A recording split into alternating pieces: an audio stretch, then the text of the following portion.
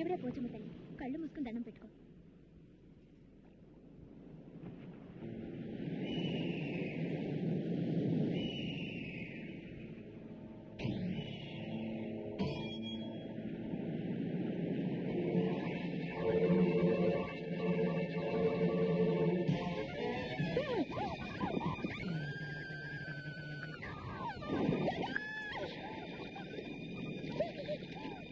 దానికి ఈత రాదు.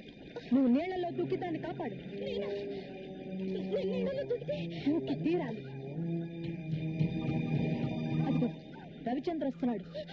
అతను రాగానే నువ్వే దాన్ని నీళ్ళలో తోసావని చెప్తాను. ఇక జన్మలో నీ ముఖం చూడడు నీ మెడలో తాళి కట్టాడు.